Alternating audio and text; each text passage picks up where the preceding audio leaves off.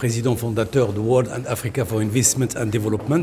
et surtout notamment membre du comité d'organisation de la semaine de l'Afrique des solutions euh, qui nous a amené aujourd'hui euh, d'être dans ces lieux à l'école Mohammedia des ingénieurs qui relèvent de l'université Mohammed V. Donc euh, comme vous avez pu le constater, c'est-à-dire l'événement est dédié à des solutions 100% africaines pour répondre à des problématiques concrètes. Et là, nous avons annoncé pour la première fois depuis Rabat, depuis le Maroc, la création d'une nouvelle école de journalisme des solutions pour répondre notamment à des, solutions concrètes et surtout pour valoriser les solutionneurs, les innovateurs africains un peu partout dans le monde et qui mettent en place des vraies solutions à des problématiques concrètes avec un impact social, économique, écologique, euh, créateur notamment euh, d'emplois à fort valeur ajoutée, notamment pour l'Afrique. Et ce que nous avons constaté, c'est que notamment ces solutions, ils ont besoin d'être mises en lumière et nous souhaitons que le journalisme d'aujourd'hui puisse notamment jouer le rôle d'éclaireur pour valoriser ces initiatives dans le monde parce que l'Afrique euh, mérite tant qu'on puisse la voir autrement et qu'on puisse la,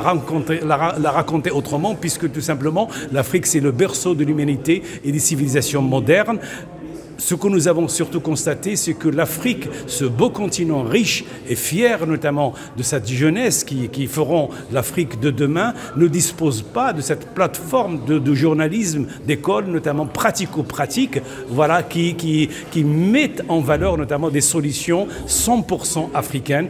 Voilà notamment l'objectif principal pédagogique et également opérationnel de cette école qui sera une première notamment école qui va euh, faire rayonner c'est-à-dire des, c'est-à-dire des, non seulement, euh, c'est-à-dire le, ce qu'on appelle l'esprit entrepreneurial de la jeunesse pour allumer la flamme qui est en eux et surtout mettre en lumière et en valeur des solutions euh, innovatrices telles que nous avons pu notamment les découvrir euh, de toute la matinée à travers notamment les différents intervenants et solutionneurs. Donc voilà, donc il y a une intimité, notamment une complicité positive entre les médias, quelle que soit sa couleur, qu'il soit, c'est-à-dire la télévision, qu'il soit c'est-à-dire la, radio, qu'on soit notamment les outils, les différents outils de communication, et eh ben c'est vers notamment cette, nouvelle mission que nous souhaitons former le, les journalismes, euh, c'est-à-dire de solutions, nouvelle génération, depuis le Maroc, pour l'Afrique, avec l'Afrique et pour mettre en valeur l'Afrique.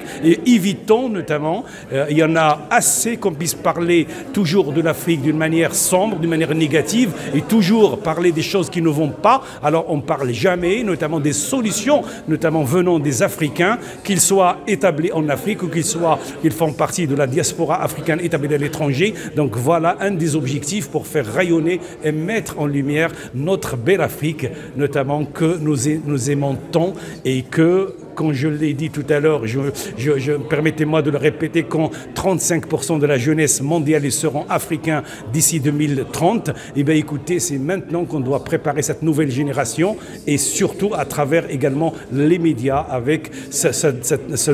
nouveau, aspect de journalisme de solution plutôt que de parler que des problématiques. Donc voilà l'idée venant de Léance, notamment qui est le président euh, fondateur de SAS, de notre voix, lui-même journaliste et qui qui a eu cette idée notamment de créer cette école, euh, une première notamment en Afrique et une première dans le monde. Et, euh, euh, c'est-à-dire que les, échanges aujourd'hui pour l'emplacement, ils sont en cours, notamment, c'est-à-dire de, c'est-à-dire de, challenge, de challenge pour choisir le meilleur emplacement. voilà, bah, ça c'est d'ordre technique, mais le plus important, c'est que le projet, notamment, il est déjà clé en main, il est prêt. Il suffit de le mettre en valeur. Donc voilà. سي حسن بن زين أهنئكم على هذه المبادرة آه واللي آه تتلائم بشكل كبير مع مبادرة الإعلام الذكي لإفريقيا اللي كيشرفها أنها تكون آه شريك إعلامي الاس إس ولما التقيت مع مسيو ليونس حمزة لونغباجي وهضر لي على هذه المبادرة آه، فرحت كثير لأن المبادره الإعلام الذكي لإفريقيا خذت جائزة الأمم المتحدة لأنها اقترحت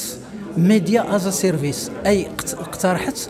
تقريب وضع آه، جسور ما بين الصحفيين وحاملي المشاريع الابتكارية والشركات